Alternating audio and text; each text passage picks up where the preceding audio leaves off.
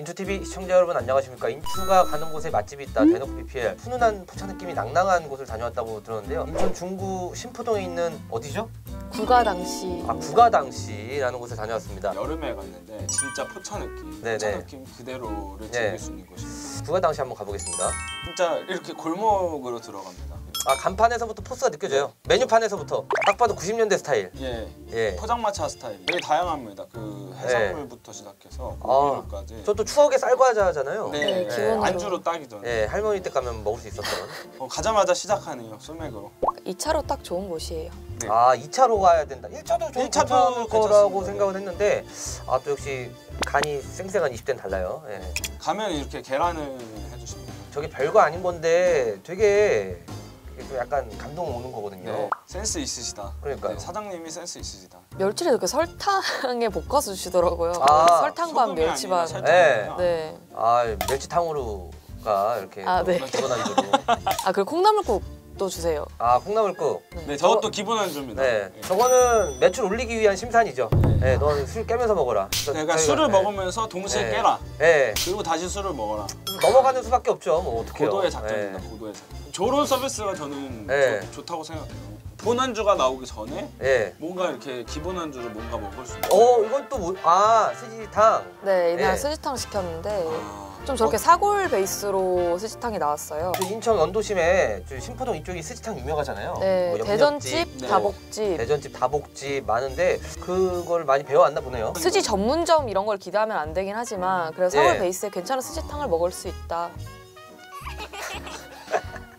웃지 마세요. 브루펜 브루펜 제- 먹는 거 아니죠? 제, 제 먹는 거 그러지 말아주세요. 브루펜이 아니고. 예. 제가 저 원래 이렇게 먹습니다. 아 우리 또 아, 박야 PD. 네. 아 뭐든 잘 먹어요. 뭐든. 그 뜨끈한 국물에 소주 예. 너무 빼놓을 수 없죠.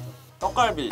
아 저거 그죠? 예, 예, 아니, 예. 떡갈비 그냥- 저거 아 그냥 시- 갈비. 그냥 갈비. 그냥 그냥 갈비. 갈비. 어, 맛있더라고요. 예, 예, 예, 예. 이게 완전 술안주예요. 직접 네. 구 우는 게 아니라 네. 구워 주시는 거라서 네. 그냥 가만히 있으면 네. 그냥 가만히 있으면 딱 이렇게 딱 하고 떡갈비 아니 갈비가 나오고 네. 떡갈비가 아니고 갈비가 나오는. 반건조 육포라고 해야 되나? 약간 그런 느낌도 아. 들면서 네. 양념 낭낭하게. 저 한 조각에 소, 소맥 한 세 잔 먹는 것 같아요. 아 맞아요. 예. 아 그리고 저기 마늘 뭐라 해야죠? 마늘 장아찌라고 해야 되나? 네 마늘 장아찌, 마늘 무침 뭐. 네, 뭐저 마늘 같이 절임. 주는데 네. 저거랑 같이 먹으면 되게 별미예요. 맛있어요. 또 마늘이 몸에 상당히 좋잖아요. 네, 항암 작용하면서 아 저 깜짝 놀랐습니다 이거. 치즈 계란 말인데 아 저기 진짜 묵직해요. 네. 위에 치즈가 올려져 있는 건가요? 아니 안에 들어 있는 거. 안에 안에 마- 들어있고. 네, 머스타드. 모짜렐라 치즈가 안에 저는 들어. 피자가 나온 줄 알았어요 순간. 네.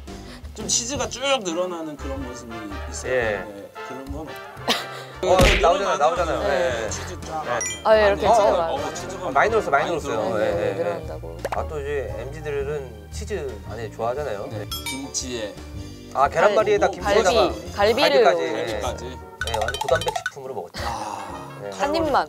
네.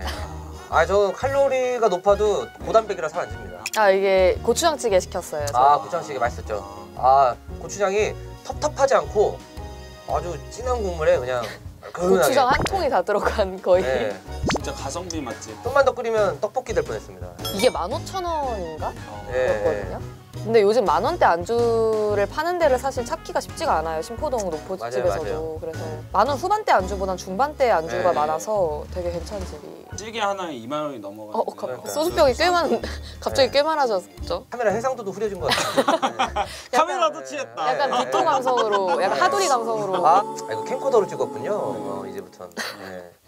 같이. 추억 보정. 아, 아, 아, 아. 저렇게 많이 먹어.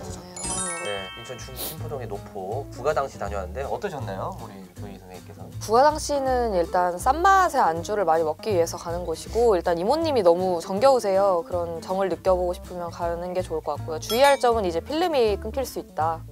이걸 주의하시면 좋을 것 같습니다. 아니 우리 소맥 선생님은 아, 저는 뭐 이날 못 가봤지만 네. 이렇게 여름 아니면 봄, 가을, 봄, 가을 날씨 좋은 날 네. 가면은 저기는 이제 안쪽인데 바깥쪽에 이제 그 테이블 아 야외 노상 포차. 노상. 네, 네. 노상으로 먹는 그 추억이 또 있었던 집이라고 생각합니다. 꼭 한번 그 봄, 네. 여름, 가을 안 추울 때 가보셨으면 좋겠습니다. 알겠습니다.